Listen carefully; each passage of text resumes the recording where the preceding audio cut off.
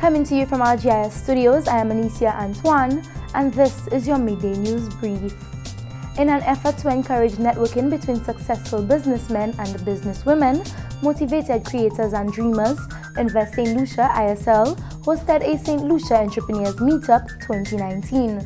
The event, which was being held under the theme Doing What You Love and Being Successful Doing It Ingredients for Success, is a precursor to a broader program currently being finalized by ISL, namely the Business Incubator and Accelerator Program. The St. Lucia Entrepreneurs Meetup 2019 included a panel discussion with three St. Lucian entrepreneurs, namely Media Novel, Henson Hunt, and Ian Mitchell.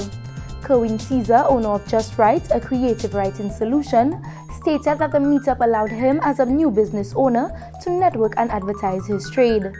The St. Lucia Entrepreneur Meetup 2019 was held at the Pink Papaya restaurant in Pointe Seraphine on Monday, September 2nd, 2019. On the Feast of St. Rose of Lima, scores of individuals, also referred to as roses, made their way to the Church of St. Rose de Lima in Moshi, all the while chanting songs that praised the roses and taunted the Marguerites, their traditional flower rivals.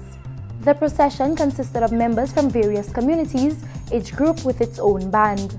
The groups all adorned in the customs of pinks, reds and whites and consisted of a king and queen, prince and princess, doctor, magistrate, policemen, nurses and soldiers. Following the church service, the Roses proceeded to partake in the Grand Fete where they put on a display of song and dance. Senior Events and Production Officer of the Cultural Development Foundation, Tyrone Harris, noted that the increase in funding provided by the government of St. Lucia has assisted greatly in ensuring that there is proper structure within groups and that there is costume development. A number of groups participated in the festival, including the Bellevue, Desruisseaux, Olio, Grand Riviere, Dennery, Mon Repos, Labri and Moshi Lawas groups. A comprehensive strategy aimed at revitalizing the apiary industry has been launched in order to harvest the benefits of the market demand for honey. With assistance from Compete Caribbean through its cluster development project, Export St. Lucia and the Ministry of Agriculture have initiated a plan to develop and grow the industry. Apiculture, more commonly known as beekeeping, is the maintenance of bee colonies, mostly in man-made hives.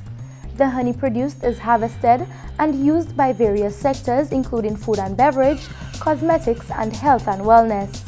Beekeepers and cooperatives say they are eager to get the ball rolling on the implementation of the cluster development project and look forward to the successes which will be derived from the project. This has been your Midday News Brief. Thank you for watching.